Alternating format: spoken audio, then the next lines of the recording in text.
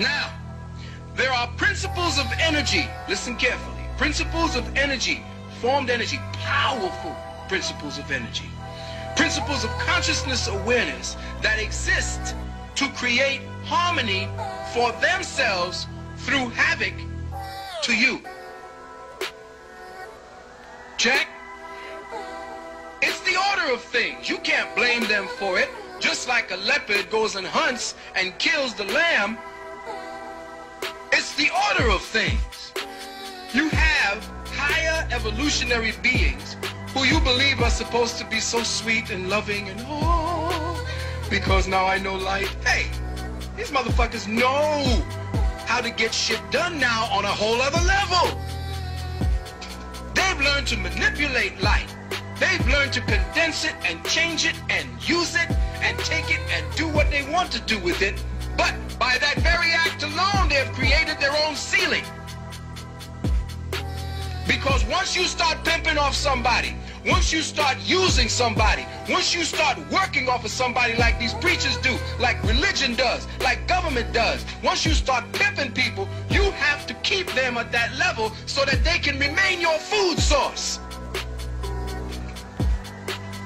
So you have higher levels, higher beings that are of the lower order that have to maintain that order through making you their vegetable garden.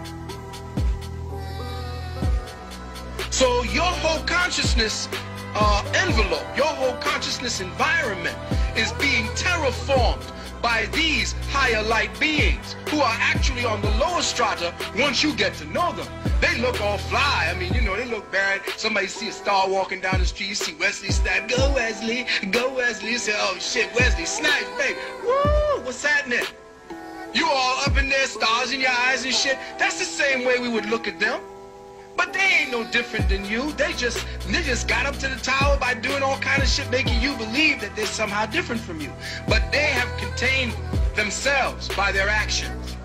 And they know that you have the ability to reach light speed. They know you can bypass this illusion that you are now functioning in. They know what your inheritance is, and they are about keeping you from getting it.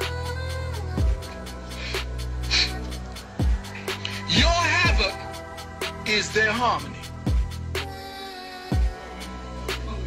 Check.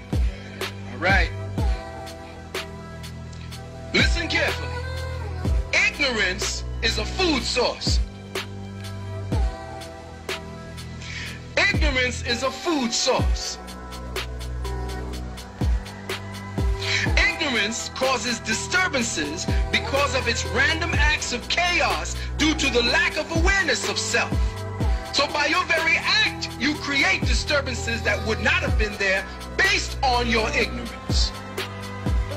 So by your acts of ignorance, the dynamics for their sustenance is made ready for them. And you are ignorant as hell.